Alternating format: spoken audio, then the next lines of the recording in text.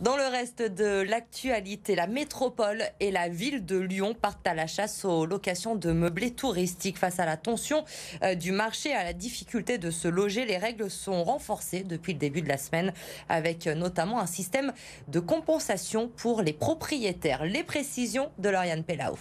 Désormais, dans l'hypercentre de Lyon, pour transformer un bien en meublé touristique, la compensation sera obligatoire dès le premier mètre carré. C'est-à-dire qu'il faudra proposer un autre bien en location d'une taille similaire et dans le même arrondissement.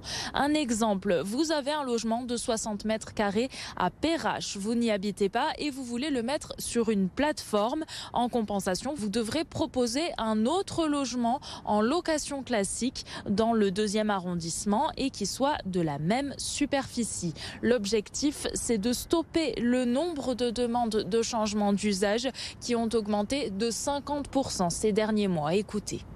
Il n'y a pas assez de biens qui sont mis en location. Et on ne peut pas se permettre que, un, on immobilise des biens pour un usage de meublé de tourisme, pour faire un profit plus important, alors que les habitants et les habitantes de cette métropole cherchent à se loger. Puis par ailleurs, le fait que certains immeubles se transforment en partie en, immeubles dédiés entièrement au meublé de tourisme, ce n'est pas bon.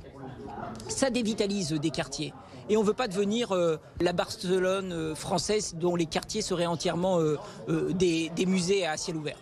Hors hypercentre aussi, la compensation devra être appliquée dans tous les cas, sauf si votre logement est inférieur à 35 mètres carrés. Dans ce cas précis, une autorisation de changement d'usage sera accordée pour 9 ans. Les services de la ville de Lyon et l'équipe métropolitaine de l'habitat se chargeront de surveiller les plateformes. Toute fraude peut être punie par 5000 euros d'amende.